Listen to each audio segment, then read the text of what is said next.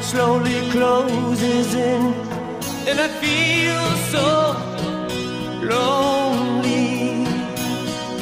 Touching heat freezing on my skin. I pretend